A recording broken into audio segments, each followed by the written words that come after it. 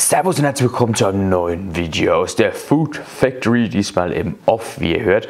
Und wir haben hier richtig schönes Mürber, sozusagen Suppengrün und dazu gesellt sich jetzt eine Flasche Rotwein. Ja, die war mal ganz voll, aber was soll's, denn wir machen heute was richtig Geiles und dazu kommt jetzt unser Hauptbestandteil und zwar unser Parüren vom Wild, denn wir machen heute eine richtig 1A klassische Wildgrundsoße und dazu brauchen wir noch ein paar Wacholderbeeren und Lorbeerblätter Jetzt sind beide da. Und natürlich auch für den Geschmack und für die Farbe ein bisschen Tomatenmark.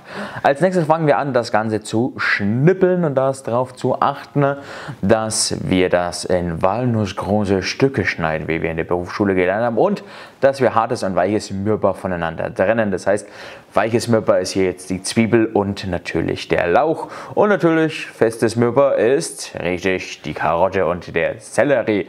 Das äh, Ganze könnt ihr übrigens ergänzen mit jeglichen Art von Gemüse, was ihr daheim noch rumfliegen habt, das unbedingt weg muss.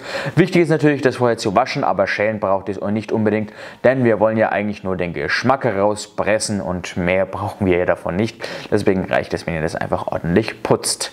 So, jetzt geben wir in einen schönen heißen Topf unsere Parüren. Ich habe das übrigens noch übrig und ihr seht, das ist ein bisschen Fett und Sehnen aus meinem letzten Video mit ähm, wild. Und zwar war das das schöne Rehfilet. Äh, oh, das ist geil. Und da war das noch ein bisschen übrig. Dazu kommt dann unser ähm, festes Mürber und das Ganze rösten wir richtig, richtig kräftig an. Alternativ dürft ihr natürlich auch gerne Wildknochen nehmen, aber die finde ich immer sind recht schwer zu bekommen, wenn man nicht gerade selbst ein Schweinchen erlegt hat oder einen Hirsch. So, dazu kommt weiches Mürber und das Ganze braten wir jetzt auch schnell an. Und jetzt aufpassen, denn hier seht ihr, ist noch Tomatenmark jetzt mit reingewandert und das kann extrem schnell verbrennen und macht das Ganze Ganze ungenießbar, weil es bitter wird.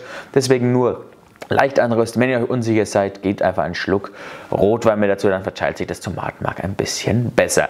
So, kommen wir zum Dekrasieren, das heißt das Ablöschen mit Rotwein. Dazu nehmen wir 150 ml Rotwein, aber nicht vergessen, wir haben noch die ganze Flasche, denn ihr lasst diese 150 ml einreduzieren und dann fangt ihr wieder von vorne an. Und das Ganze so lang, bis eure Weinflasche sozusagen leer ist und euer Gemüse und euer Fleisch richtig schön glänzend ist. Und das ist ein unbeschreiblich geiler Geruch und Geschmack.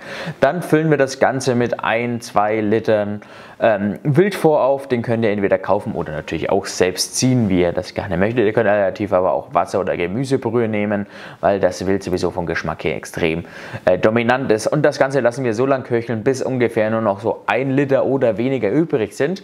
Und dann tun wir das Ganze abpassieren. Das heißt, wir lassen das durch ein schönes Sieb, um die letzten groben Stückchen rauszulassen.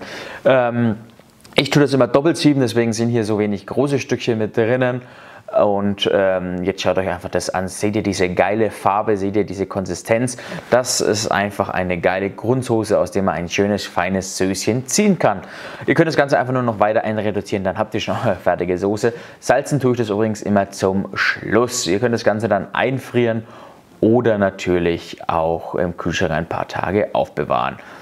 Jetzt wünsche ich euch viel Spaß beim Nachkochen. Habt die Ehre, euer Hannes aus der Food Factory.